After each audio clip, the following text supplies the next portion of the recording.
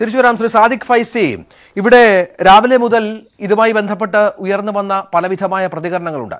അതിൽ ഏറ്റവും പ്രധാനപ്പെട്ടത് മുരളീധരനെ പോലെ കോൺഗ്രസിന്റെ പ്രധാനപ്പെട്ട നേതാവ് പറഞ്ഞൊരു കാര്യമാണ്. മതേതര ശക്തികളുടെ പോരാട്ടത്തെ ദുർബലപ്പെടുത്തും ഇത്തരം ചർച്ചകളെന്ത്? ശരിക്കും ചർച്ചകൾ ഇത്തരം പോരാട്ടങ്ങളെ അല്ലെങ്കിൽ ഇത്തരം നീക്കങ്ങളെ ദുർബലപ്പെടുത്തുകയാണോ ചെയ്യുക? അതോ ഈ പ്രശ്നപരിഹാരത്തിന് ഒരു നാന്ദി കുറിക്കുകയാണോ ചെയ്യുക? അങ്ങനെയും കാണാമല്ലോ. കാരണം നേരത്തെ ശ്രീജി പണിക്കരൊക്കെ പറഞ്ഞതുപോലെ ചർച്ചകൾ പ്രശ്നപരിഹാരത്തിലുള്ള വേദികളാണ്. പരസ്പരം കാര്യങ്ങൾ പറയാനുള്ള വേദികളാണ്. മറ്റു വേദികളില്ലെങ്കിൽ പരസ്പരം മുഖാമുഖം തങ്ങളുടെ പ്രശ്നങ്ങൾ അഡ്രസ്സ് ചെയ്യാനുള്ള വേദികളായി മാറുമ്പോൾ അതിനെ അങ്ങനെ തള്ളേണ്ട കാര്യമുണ്ടോ എന്നുള്ളതാണ് പ്രധാനപ്പെട്ട കാര്യം.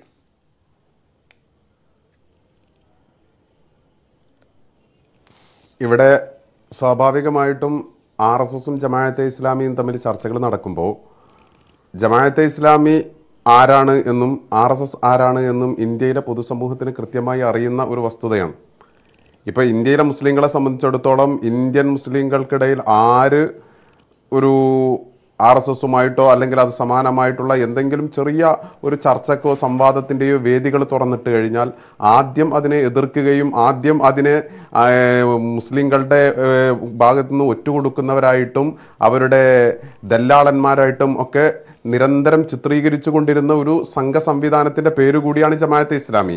ഇന്ത്യയിൽ മുസ്ലിങ്ങൾക്കിടയിൽ എന്താണ് തീവ്ര ഭാവ ശൈലികൾ രൂപപ്പെടുത്തുന്നതിൽ അതിശക്തമായ പങ്ക് ജമാഅത്തെ ഇസ്ലാമിക്കുണ്ട്. അപ്പുറത്ത് ആർ എസ് എസ് ചെയ്യുന്നതിന്റെ വേറൊരു വേർഷൻ എന്ന നിലയ്ക്ക് തന്നെ പറയാവുന്ന വിധത്തിൽ ആർ എസ് എസ് ജമാഅത്തെ ഇസ്ലാമിയോട് കമ്പയർ ചെയ്യാൻ പറ്റില്ല എങ്കിൽ പോലും. കാരണം ആർ എസ് എസ് എന്ന് പറയുന്നത് ഇന്ത്യയിൽ ഉടനീളം വേരുകളുള്ള ഒരു സംവിധാനമാണ്. എങ്കിൽ പോലും ഒരു മതപക്ഷത്തു നിന്ന് രാഷ്ട്രീയക്കാർ അവരുടെ രാഷ്ട്രീയ സംവിധാനത്തിന്റെ ഭാഗമായി അഭിപ്രായങ്ങൾ പലതും പറയുന്നുണ്ടാകാം. പക്ഷേ എങ്കിൽ പോലും ഒരു രണ്ട് വ്യത്യസ്തങ്ങളായ ചേരികളിൽ നിൽക്കുന്നവർ പരസ്പര തെറ്റിദ്ധാരണകൾ മാറാൻ വേണ്ടിയിട്ട് പരസ്പരമുള്ള അകൽച്ചകൾ മാറുന്നതിന്റെ ഭാഗമായി പരസ്പരം കാര്യങ്ങൾ ചർച്ച ചെയ്യുന്നതിനോ സംവാദത്തിന്റെ വാതിലുകൾ തുറന്നിടുന്നതിനോ തെറ്റാണോ എന്നോ അത് തീരെ പാടില്ല എന്നോ ഉള്ള ഒരു സമീപനം നമുക്കെടുക്കാൻ കഴിയില്ല. കാരണം സംവാദങ്ങൾ ബദ്ധശത്രുക്കളായിട്ടുള്ള ഒരു കാലഘട്ടത്തിൽ ഇന്ത്യൻ മുസ്ലിങ്ങളുടെ മെയിൻ സ്ട്രീമിന്റെ മറുപക്ഷത്ത് ഇന്ത്യൻ നാഷണൽ കോൺഗ്രസ് ഉണ്ടായിരുന്നു. പക്ഷേ ഇന്ത്യൻ നാഷണൽ കോൺഗ്രസ് പിന്നീട് മുസ്ലിങ്ങളുടെ മിഷിഹയായി വരുന്ന ഒരു സംവിധാനം ഉണ്ടായി ലോകത്തുടനീളം അത്തരം ബദ്ധശത്രുക്കളായിട്ടുള്ള ആളുകൾ പരസ്പരം ഒന്നിച്ചിരിക്കുകയും രാവിലെ മുതലുള്ള പ്രതികരണങ്ങൾ കാണുന്നത്. കാരണം ഒരു മുസ്ലിം സംഘടന പോലും മുസ്ലിം സമുദായത്തിലെ പ്രധാനപ്പെട്ട പ്രവർത്തിക്കുന്ന ഒരു സംഘടന പോലും ഈ ചർച്ചയെ സ്വാഗതം ചെയ്യാൻ തയ്യാറായില്ല. നിശിതമായ വിമർശനമുയരുന്നു ഭീഷണിയുടെ സ്വരമാണ് അല്ലെങ്കിൽ പേടിയാണ് ആർ എസ് എസിനെ ഈ എന്ന് പറഞ്ഞു വെക്കുന്നു. ഇങ്ങനെ എല്ലാ തരത്തിലും ഒറ്റപ്പെട്ട നിലയിലാണ്. ഞാൻ പറഞ്ഞ പോലെ ജമാഅത്ത് ഇസ്ലാമിയൊക്കെ ആളുകളെ ചർച്ചയ്ക്ക് വിടാൻ പോലും തീരുമാനിച്ചിരുന്നവർ പോലും അവർക്കും എന്തോ ഒരു പേടിയായി തുടങ്ങി. ഞങ്ങൾ എന്തോ മഹാപരാധം ചെയ്തു എന്ന രീതിയിൽ. അത്തരത്തിലുള്ള പ്രതികരണങ്ങളാണ് മുസ്ലിം സംഘടനയുടെ ഭാഗത്തുനിന്നുണ്ടായത്. ശ്രീ സാദിഖ് ഫൈസി. അതാണ് ഞാൻ ഞാൻ പറഞ്ഞു ഞാൻ പറഞ്ഞു വരുന്നത് ജമാഅത്തെ ഇസ്ലാമിയുമായിട്ടുള്ള ആർ എസ് എസിന്റെ ചർച്ചയെ സ്വാഗതം ചെയ്യണം എന്നുള്ളതല്ല. പക്ഷെ സംവാദത്തിന്റെ വാതിലുകളെ പൂർണമായിട്ടും കൊട്ടിയടക്കുക എന്നുള്ളത് എത്ര വലിയ ശത്രുക്കളാണ് എങ്കിലും അത് ഒരു ജനാധിപത്യ സംവിധാനത്തിനകത്ത് പരസ് പ്രത്യേകിച്ച് രാഷ്ട്രീയം നമ്മൾ മാറ്റിവെച്ചിട്ട് മതത്തിന്റെ വിശാലമായ കാഴ്ചപ്പാടുകൾക്ക് ഇപ്പോൾ മതത്തിന്റെ അധ്യാപനം തന്നെ ഇപ്പോൾ ഒരു ഉദാഹരണം പറഞ്ഞാൽ ഇസ്ലാമിന്റെ ഒരു അധ്യാപനം തന്നെ മോസ മോസസ് പ്രവാചകന്റെ അടുക്കൽ മോസ പ്രവാചകന്റെ അടുത്തേക്ക് ഫറവോന്റെ അടുത്തേക്ക് മോസ പ്രവാചകനെയും അഹറോണിനെയും പറഞ്ഞയക്കുന്ന സമയത്ത് ദൈവനിർദ്ദേശം വരുന്നത് ഖുർആൻ ഉദ്ധരിക്കുന്നുണ്ട്.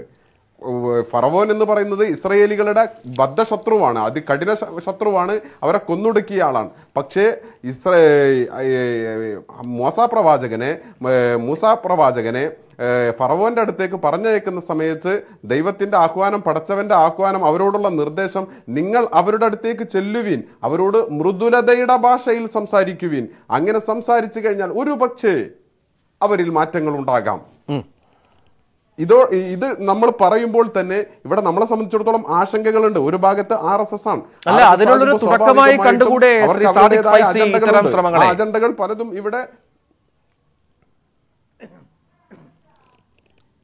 ഇത്തരം തുടക്കമായി ഇതിന്റെ മുന്നിൽ ജമാഅത്തെ ഇസ്ലാമിയും ആർ എസ് എസും തമ്മിൽ നിൽക്കുമ്പോൾ തന്നെ അതിൽ സമൂഹത്തിൽ ആശങ്കപ്പെടാനുള്ള ഒരുപാട് വഴികൾ അതിന്റെ മുമ്പിൽ ഉണ്ട് എന്നുള്ളതാണ്. കാരണം ജമാഅത്തെ ഇസ്ലാമി എന്ന് പറയുന്നത് ഇക്കണ്ട കാലം ഇപ്പോൾ മുസ്ലിം ലീഗിനെ പോലും ജമാഅത്തെ ഇസ്ലാമി പല കാലഘട്ടത്തിലും വിമർശിച്ചിരുന്നത് ഇത്തരം എന്താകുന്നത് മുസ്ലിം സംഘടനകളുടെ വേദികളിലേക്ക് സൗഹൃദ സമ്മേളനത്തിന്റെ ഭാഗമായി പോലും ഒരു ബി പ്രതിനിധി വരുന്നതിനെ പോലും അതിശക്ത ശക്തമായ ഒരു മാസ് ക്യാമ്പയിനിലൂടെ നേരിടുകയും അതുപോലെ ഇപ്പോൾ ശബരിമല ഇതുമായി ബന്ധപ്പെട്ട് ഉണ്ടായിട്ടുള്ള ഈ ഹൈന്ദവ സംഘടനകളുടെ പ്രതിഷേധ പ്രകടനങ്ങളിൽ ഏതോ മുസ്ലിം ലീഗിന്റെയൊക്കെ പ്ര പ്രവർത്തകർ നാരങ്ങാവെള്ളം കുടി കൊടുത്തതിന്റെ പേരിൽ ഇന്നും മുസ്ലിം ലീഗിന്റെ പ്രവർത്തകരെ അതുപോലെയുള്ള ആളുകളെ ട്രോളിക്കൊണ്ടിരിക്കുന്ന വിഭാഗമാണ് ജമാഅത്തെ ഇസ്ലാമി. അഥവാ മുസ്ലിം സമൂഹത്തിനിടയിൽ ഇത്തരം ഒരു തീവ്ര മനോഭാവം കുത്തിവെച്ച ഒരു സമൂഹം ഒരു ടീം പെട്ടെന്ന് ട്രാക്ക് മാറി ഓടുകയും പെട്ടെന്ന് ഇങ്ങനെ സംവാദത്തിന്റെ മുന്നിലെത്തുകയും ചെയ്യുമ്പോൾ അത് നമ്മളെ മുമ്പിൽ ചില സംശയങ്ങൾ സ്വാഭാവികമായും ഈ ജമാഅത്ത് ഇസ്ലാമി പോലെ ഒരു സംഘടന അങ്ങനെ ഒരു ചർച്ചയ്ക്ക് മുൻകൈ എടുത്തതാണ് ശ്രീ സാദിഖ് ഫൈസിയെ പോലും സംശയിക്കുന്നത്. ശ്രീ ഓ അബ്ദുള്ള ഇവിടെ സംവാദ